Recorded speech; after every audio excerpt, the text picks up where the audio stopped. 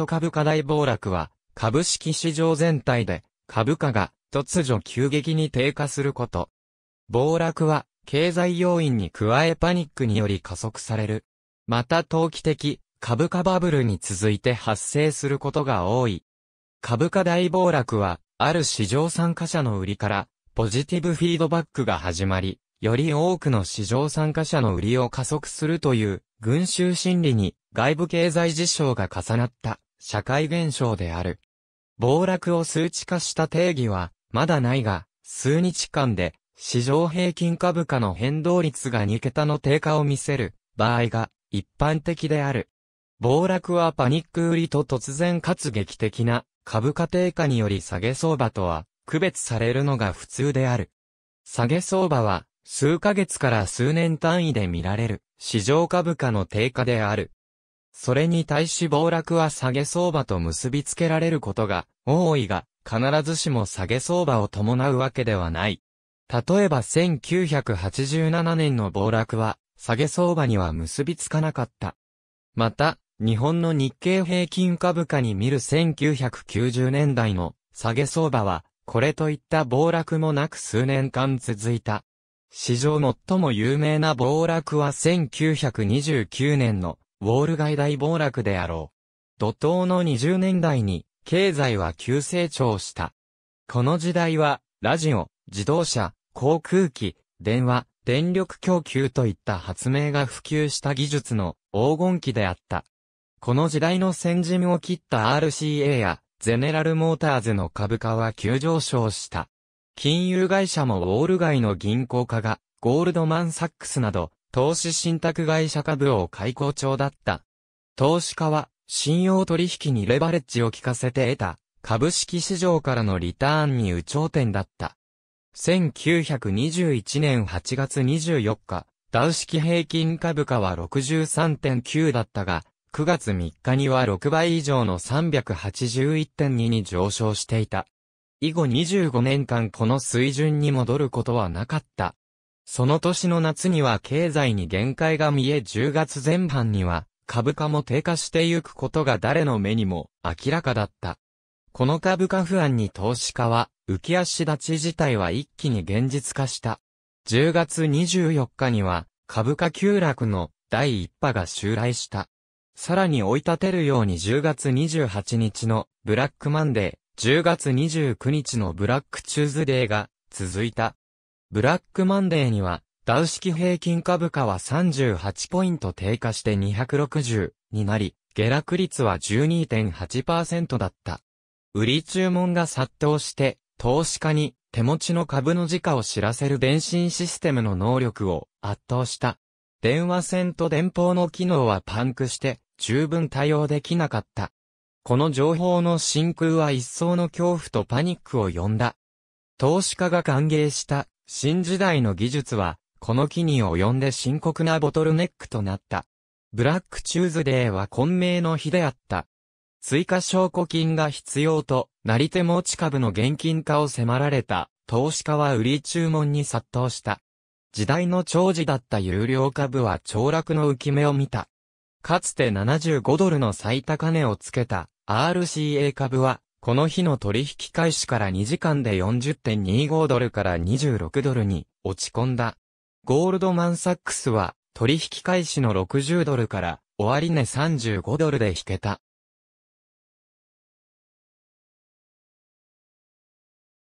同様に、ニューヨークのファーストナショナルバンクは5200ドルから1600ドルに低下した。2日間でダウ式平均株価は23%低下した。11月11日は週末で株式指標は228となり、9月の最高値から40%の下落を見た。市場では続く数ヶ月間活発な取引が展開されたが、これは焼け石に水で、やがて現代史上最悪の経済危機が投資家を飲み込んだ。株価暴落は投資家に重大な損失を与えたが、これに続く大恐慌はさらに悪質であったことはよく知られている。暴落は多くの投資家のポートフォリオに深刻な穴を開けたが、大恐慌はそれどころか破産をもたらした。大恐慌が底をつく1932年7月8日、時点で、ダウ式平均株価は89%下落していた。1980年代中期は経済における楽観主義が幅を利かせた時代である。1982年8月から頂点となる1987年8月まで、ダウ式平均株価は776から2722に上昇した。この株価上昇は、同時期の世界の19大市場の株価を平均296%押し上げた。ニューヨーク株式市場で取引される平均株数は6400万株から1億8100万株に増加した。1987年10月19日の暴落は1987年のブラックマンデーと呼ばれ、5日前の14日に始まった株価下落のクライマックスであった。ダウ式平均株価は10月14日に3.81%下落し、16日にさらに4.60%下げた。しかしこれは、翌週の19日に比べれば、ものの数ではなかった。ブラックマンデーには、ダウ式平均株価は508ポイント、22.6%を下げた。S&P500 は282.7から225.06に20.4%下げた。ナスダック指数は11.3%の下げに止まったが、その理由は売り注文が膨らまなかったのではなく、ナスダックの市場システムが機能しなくなったからである。売り注文が殺到したニューヨーク証券市場では、上場株2257種のうち195種は注文に対応しきれず、値がつかなかった。ナスダックの状況は、さらに深刻だった。マーケットメーカーの撤退を許容する、市場形成システムを重視したため、ナスダック市場の流動性は蒸発した。多くの株取引で一株あたりの売値が買い値より、はるかに高い異常な状態だった。このような、行き詰まった状況で、市場は取引時間を大きく短縮した。19日には、ナスダック市場で、マイクロソフト株の取引は54分間で、打ち切られた。この暴落は1取引日の損失としては、ウォール街の歴史で最大である。14日の取引開始から19日の取引終了までに、ダウ式平均株価は760ポイント、31%を下げた。1987年の暴落は世界的な現象だった。フッツィ100種総合株価指数は19日に10.8%、その後12.2%下げた。この10月には、世界の主要市場で株価は大きく下げた。一番影響が小さかったオーストリア市場で11.4%、最も打撃が大きかった香港常ネオ指数は45.8%下落した。23工業先進国のうち19カ国の市場で、下落幅は20%を上回った。1930年代の大恐慌の再現を恐れながらも、市場では暴落直後から活発な取引が展開され、その翌日には、史上最高となる1日の上げ幅102.27ポイントを記録し、22日には186.64ポイントに更新した。ダウ式平均株価の不振はわずか2年で、1989年8月までに、市場の株価は完全に回復した。1987年の暴落の原因はまだ結論付けられていない。株式市場は長い間強気で推移し、アメリカ市場の株価収益率は戦後平均を上回っていた。S&P500 は23倍の収益率で、戦後平均の14.5倍をかなり上回った。群衆心理とフィードバック循環は、すべての株価暴落の主因だが、アナリストは、外部誘引事象にも注目している。株価の過大評価という一般的な懸念材料のほか、プログラム売買、ポートフォリオインシュアランス、デリバティブ、暴落前に発表される、経済指標。例、アメリカの貿易赤字とドルの下落が、工程部合の引き上げにつながるの悪化といった要因が、やり玉に上がっている。